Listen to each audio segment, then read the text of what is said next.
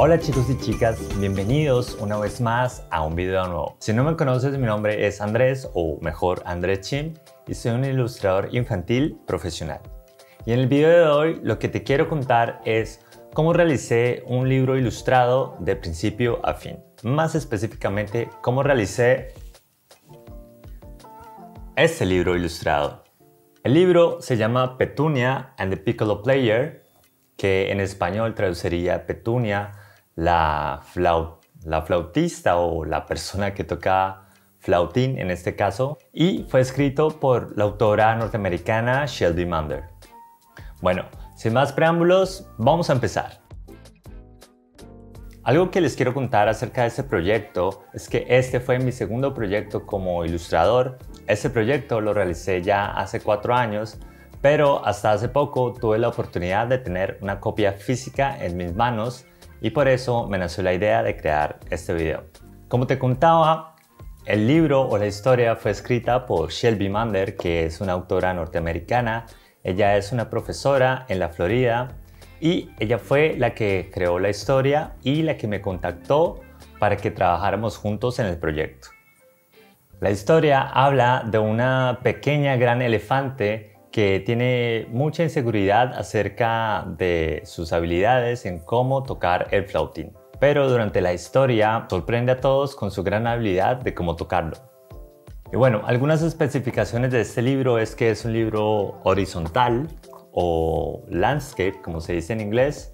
Esta edición es de pasta dura y como te conté tiene 32 páginas de ilustradas o de contenido una página de autor y una página de título. También, aparte de realizar las ilustraciones del interior, yo tuve la oportunidad de realizar la portada, la contraportada y el diseño para impresión del libro. Vamos por el inicio. ¿Cómo conseguí el trabajo? Este trabajo o este proyecto llegó a mí gracias a un marketplace en el cual, el cual utilizo bastante que se llama Upwork. En este marketplace autores o publishers o editores postean trabajos o proyectos y freelancers de diferentes áreas y también ilustradores como en mi caso aplican para trabajar en estos proyectos. Así que yo vi este proyecto en la plataforma, apliqué enviando mi portafolio, mis ilustraciones y después de un proceso de selección y de hacer una clasificación, la autora terminó decidiendo o me escogió para trabajar juntos en el proyecto. Y bien, luego de que la autora me contactó y decidimos que íbamos a trabajar juntos, empieza como tal el trabajo colaborativo. Y el primer paso es primero definir qué se va a hacer. Eso en inglés se llama scope, que en español sería como la especificación de qué es lo que vamos a hacer. En este caso, serían las ilustraciones de la historia, del interior del libro, la portada, la contraportada y también el diseño para impresión del libro. Una vez estamos de acuerdo junto con la autora en el número de ilustraciones que vamos a realizar, el tipo de ilustraciones que se va a hacer, porque es diferente si es una ilustración a full color o media página o doble página o simplemente el outline en blanco y negro. Todo esto tiene que ser discutido y aprobado por las partes que entran en el proyecto. La idea en esta fase del proyecto o preproyecto mejor es que todos estemos de acuerdo con lo que se va a realizar y no haya sorpresas en un futuro. Que si hay que realizar algo que no está acordado, esto se discute o se cobra de más o simplemente no se hace. En este video también te quiero comentar un poco no solo de cómo es el proceso ah, artístico de crear el libro, sino también un poco en cómo manejar un proyecto si eres un freelancer o un autor o un ilustrador independiente. Bien, una vez ya hemos decidido cuántas ilustraciones se van a hacer y el estilo y el formato de estas, lo que empiezo o el primer paso es recibir el manuscrito. En el manuscrito, que es simplemente la historia, empiezo a ver o a crear en mi mente el concepto de cómo serán los personajes, cómo será el mundo en que estos personajes viven y cómo se va a desarrollar la historia. También cuando o generalmente cuando recibes un concepto o un manuscrito, Este tiene algunas notas de cómo el autor o los autores ven en su cabeza o, piensan en su cabeza cómo será el mundo o los personajes. Por ejemplo, si en la historia algo pasa en el agua, yo me puedo imaginar que es un océano, pero la autora específicamente estaba hablando de un lago o un río. Entonces, este tipo de notas ayudan mucho para que las dos partes, la parte creativa escrita y la parte creativa ilustrativa, que es mi parte, vayan como en un mismo canal o de la mano. Y bien, una vez que ya he leído el manuscrito eh, y creo un concepto de acuerdo a la historia y a las notas que me dio el autor, puedo empezar con el siguiente paso, que en mi caso es el diseño de personajes. Te voy a contar también los pasos a cómo yo los hago, cómo fue mi proceso con este libro y esto puede ser diferente para cada persona, para cada ilustrador o para cada artista. Bien, después de leer el manuscrito, empiezo con el diseño del personaje. El diseño de personajes es una de las partes que más me gusta porque me lleva a explorar muchas ideas, a ver muchas cosas nuevas, a ver referencias, videos, fotografías acerca de lo que voy a dibujar. También puedo probar como bocetos o ideas rápidas que Quizás no lleguen al final, pero es, un momento en que la creatividad está a flor de piel y la verdad esto me divierte mucho porque puedo crear cosas muy raras para mí y después volverlas a ver y quizás para el autor o el cliente no son tan raras. Y también recibir feedback acerca de estas ideas. También algo que te quiero decir es que para el diseño de personajes muy seguramente el autor o el manager del proyecto tiene unas notas para estos personajes. Por ejemplo, en este caso, para el libro, el personaje principal es un elefante. Entonces, una nota que tenía yo para, para crear a Petunia, que así se llama, es que a pesar de su gran tamaño, ella mostraba mucha inseguridad y era un poco tímida. Entonces, esto ya me empieza a generar una dirección en cuanto a los bocetos o a las propuestas que voy o que vamos a mostrar al cliente o al autor. Y así va con todos los personajes. A veces no todos los personajes tienen notas o el autor o el director de arte deja que creemos nuestra propia interpretación de ellos, pero ayuda mucho siempre tener una descripción de ellos mismos. Por ejemplo, eh, qué les gusta, cómo son, cuáles son su, cuál es su personalidad, por ejemplo, qué comida le podría gustar o qué música le podría gustar a ese tipo de personajes. Así empezamos a crear también en nuestra cabeza un rango o una idea de lo que podemos proponer en esos personajes. No siempre pasa, pero es eh, la situación ideal. Otra cosa a tener en cuenta es el público objetivo de la historia del grupo. En este caso, son niños de 3 a 8 años. Entonces también basándote en eso puedes crear diferentes estilos o formas de crear personajes, ya sea con formas un poco más abstractas o un poco más descriptivos. Acá te muestro unos de los primeros ejemplos de los, personajes principales, que son Petunia, Mr. Mule y Paige. Mr. Mule es una mula y Paige es algo que por lo menos yo conozco como Fara, en las regiones donde crecí en Colombia se le dice Fara, pero creo que en otras partes de Colombia se le dice Chucha y creo que se llama Zarigüeya. Otra parte chévere de este proyecto y con los personajes es que en la historia todos los personajes son animales.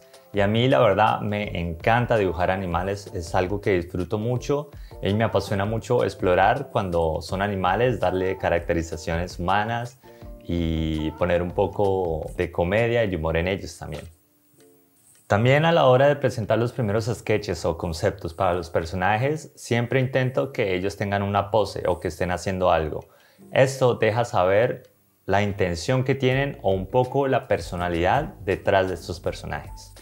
También suelo cambiar mucho los bocetos y las ideas. Primero Hago muchas ideas para mí y después vuelvo a ellas y me pregunto, mirando cada uno de los bocetos, ¿qué me dice este personaje? Y cuando estoy feliz con las propuestas o hago una pequeña clasificación para mí, de estas son las que les voy, les voy a presentar al autor o a la autora o al director de arte. En este caso, bueno, a la autora. Una vez está decidido el look o el diseño de los personajes, también podemos empezar a probar con el tipo de atuendos o ropas que van a usar. Acá puedes ver una propuesta que hice para Petunia con diferentes outfits o diferentes ropas, pero al final decidimos que ella iba a usar una jardinera o un uniforme colegial.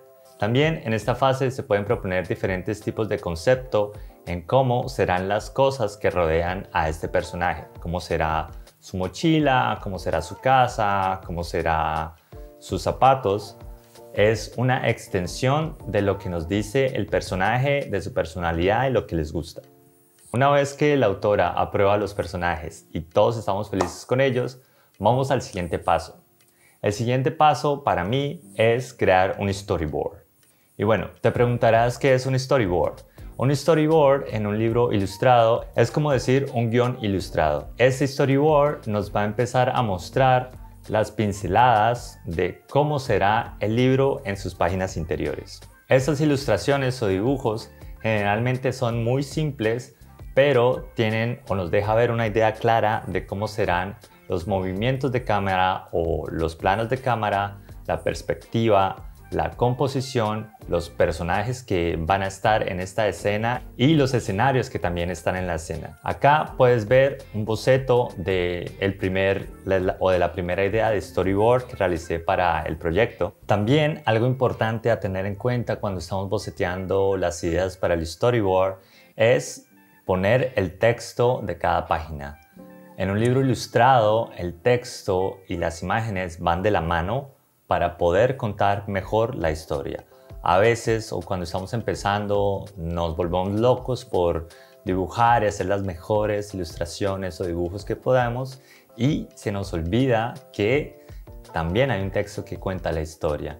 Entonces recuerda siempre incluirlo desde el boceto inicial para así no se te olvide eh, cuando el proyecto o cuando las ilustraciones estén en etapas futuras.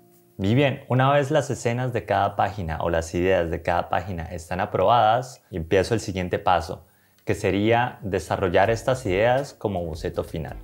Acá eh, lo que hago es simplemente tomar esa idea como referencia y empezar a definir más cómo serán los personajes, cómo serán las expresiones, cómo serán las texturas, cómo serán eh, los backgrounds o los fondos que eh, pasan en esa escena y ya empezar a dejar o a formar por cada página lo que sería el dibujo final o más o menos cómo se vería en una versión en blanco y negro. También algo que puedes hacer o que puedo hacer en esta, en esta fase es indicar un poco cómo serán las texturas o algunos efectos de luz para que el autor o el project manager o el director de arte también entiendan esa idea. Acuérdate que muchas veces podemos ver el dibujo en nuestra cabeza, pero otras personas no pueden entender quizás nuestra idea. Entonces, si podemos añadir, o quitar algo que ayude a que esa idea se entienda mejor, siempre es bienvenido. También es importante que estos últimos bocetos o bocetos finales sean claros y que muestren lo que, bueno, que sean muy claros porque si hay que hacer cambios también es mejor hacerlos desde esta fase, si hay que mover un personaje, si hay que quitar un fondo. Es mucho más fácil cuando está en un boceto que cuando ya tienes una ilustración más desarrollada con colores, texturas y luces. Bien, una vez que los bocetos finales están aprobados y ya tenemos casi todo listo para empezar a dibujar, vamos a empezar, o mejor, vamos a definir nuestra paleta de colores. ¿Cómo hago esto? En mi caso personal, y te debo confesar que el color es uno de los temas que pienso que no se me da muy bien, aunque inclusive mis ilustraciones son bastante coloridas y bastante alegres, pero esto me toma bastante tiempo de investigación, de comparación y de prueba. Entonces, para generar una paleta de colores para un proyecto de libros, yo lo que hago es que tomo uno de estos bocetos finales que ya están aprobados y empiezo a probar diferentes paletas de colores con este boceto. Es decir, hago una ilustración con diferentes colores. La ilustración no tiene que ser completamente final, con texturas y luces, pero sí tiene que ser lo suficiente, o mejor, tiene que tener la información suficiente para ver qué me transmite esa paleta de colores y si esas emociones o las ideas que transmite o lo que transmite el color va de acuerdo con lo que transmite la historia. Acá puedes ver el ejemplo de esta página con diferentes paletas de color. O también algo que suelo hacer, no siempre, pero que lo hice en el caso de Petunia, es tomar eh, las ideas básicas del storyboard y jugar con una de las paletas de colores que he escogido, de ver cómo se ven estos colores por todo el libro. Así me da una idea de cómo sería la experiencia de pasar página por página de una forma colorida o cómo los colores van evolucionando a través de la historia. Bueno, en el caso de Petunia decidimos irnos por una paleta un poco azul y morada que puede sonar algo melancólica, pero también puede generar unos contrastes muy chéveres con tonos cálidos. Y bien, ya que tenemos una paleta de colores definidas, llegó la hora de la verdad.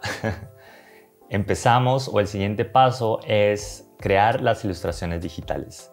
Generalmente eh, este es el proceso que más tiempo toma o que más tiempo lleva, ya que empiezo o tomo cada boceto final y lo empiezo a desarrollar con sus colores, con sus texturas, con sus efectos de luz si tienen y también con el estilo que ha sido definido desde el inicio. Todos estos pasos que te he mencionado anteriormente y este también tienen rondas de, rondas de cambios, pero estas rondas de cambios también deben ser definidas en un inicio. Por ejemplo, si yo estoy haciendo una ilustración que me tomó bastante tiempo el realizarla y tengo que hacer muchos cambios, Simplemente en mi cabeza esa ilustración va a empezar a ser un demonio gigante que crece y crece y va a llegar un momento en que no la voy a querer ni ver y ni abrir. Entonces es por eso y muy importante definir hasta cuántas rondas de cambios estás dispuesto a hacer y si son necesarias más rondas puedes definir también un valor extra para ellos y un tiempo extra. Esto se habla con el autor o con el director de arte o con todos los que están involucrados en el proyecto. Y bueno, para el proceso digital de Petunia, creo que para crear una ilustración o un doble spread, que son dos páginas, me llevó al cabo o me tomaba entre 5 a 12 horas, dependiendo del tipo de spread o del tipo de ilustración. También te digo que eso fue hace 3 o 4 años, entonces eh, ahora puedo realizar ilustraciones un poco más rápido, ya que mis procesos son un poco más eficaces y tengo más confianza en mi trazo y en mi estilo. También te quiero decir que tómate el tiempo que creas necesario para la ilustración. Si sientes que debes hacer algo más para darle ese punch o ese toque final a la ilustración, siempre te recomiendo que lo hagas. Siempre intenta dar lo mejor de ti y no guardarte nada, que de una forma u otra eso siempre va a volver a ti. Y bien, ya que terminamos o ya que han, estado terminadas todas las ilustraciones y ya todos los cambios están hechos, el siguiente paso que yo hago es realizar una ilustración para la portada. En este caso fue portada y contraportada. ¿Por qué lo hago al final de realizar todas las ilustraciones? Porque eh, al final de ese proceso yo voy a tener los personajes muy presentes en mi cabeza, ya los habré dibujado y coloreado mucho, entonces es más fácil para mí proponer una ilustración para la portada. También porque esta ilustración de portada es la ilustración o el dibujo o la imagen mejor más importante del libro. Esta va a ser la imagen que va a dar a conocer nuestra historia y que va a dar a vender nuestro libro a nuestro público objetivo o a las personas que queremos alcanzar con nuestra historia. Algunas personas hacen la portada al inicio o otras al final o en el medio. Yo generalmente las hago después de realizar todas las ilustraciones. También una portada puede ser una de las ilustraciones que ya tenemos dentro, dentro del contenido del libro y adaptarla un poco y ponerle un título para bueno, la portada o crear una completamente nueva. En el caso de Petunia, creamos una, una ilustración completamente desde cero. Quiere decir que no es una ilustración que está en el interior del libro y también una ilustración que sirve para envolver el libro. Quiere decir que sirve como portada y contraportada. Estas son las primeras propuestas las propuestas que tenía para, para la portada y al final nos decidimos con la idea de que Petunia estaba encima de una pila o una montaña de instrumentos, sorprendiendo a todos con su habilidad de cómo tocar el flautín. Otra cosa que pasó en este caso de la portada es que yo ilustré el título. También te confieso que el crear letras o hacer lettering está fuera de mi zona de confort Así que no estaba muy contento, muy cómodo haciéndolo, pero la autora confió en mí y me dio un espaldarazo y al final quedé muy contento con el resultado del título y me animé un poco más a seguirlo haciendo en otros proyectos. Pero aún es un, un tema que se sale de mi zona de confort. Y bien, básicamente ya tenemos un libro listo con todo lo que es necesario para pasárselo a un diseñador y que éste monte el libro ya para impresión o para su producción. En este caso, yo fui el encargado también de realizar este proceso, ya que, bueno, lo conozco y lo puedo hacer. Así que hice el layout o el diseño para impresión para un formato en pasta dura, como esta, en pasta blanda y también para su versión digital. Te voy a dejar en la descripción del video un link para que veas o chismes o chismoses mejor un poco más acerca del libro y su página de Amazon y también si quieres lo puedes comprar. Eso sí, está en inglés. Para el diseño del libro, como te contaba al inicio, lo que añadí fue una página de autor que cuenta un poco la historia de la autora, una página de título donde se encuentra, bueno, básicamente un título diferente al que está la portada, puede ser el mismo, y algunas informaciones acerca del copyright, de los derechos y bueno, otras cosas que llevan los, los libros o los libros ilustrados. Y bien chicos, ese en general fue el proceso para realizar un libro como este de Petunia. Como te comenté, hasta hace poco tuve la fortuna de tener una copia física en mis manos y estoy muy contento con el resultado del libro, con el color, con la historia, de cómo se ve. Y también fue muy gratificante escuchar de la autora las historias que ella ha tenido con el libro y el recibimiento que han tenido los niños de esa escuela con este libro. Es muy chévere ver cómo nuestro trabajo trasciende, trasciende fronteras, lenguajes y podemos conectarnos para dar y contar historias y siempre dibujar sonrisas. También les quiero recordar que pueden descargar un librillo que realicé completamente gratis para que puedan practicar los números del 0 al 9 y con esos números dibujar diferentes animales. Lo puedes hacer para ti o para los chicos en casa o si eres un profesor para, bueno, para una clase.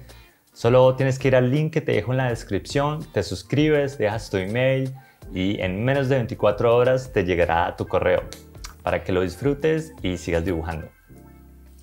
Y bien chicos y chicas, muchas gracias por quedarse hasta el final del video. Déjenme saber si tienen alguna pregunta o duda acerca del tema de cómo realizar libros ilustrados y nos vemos en una próxima ocasión. Chao.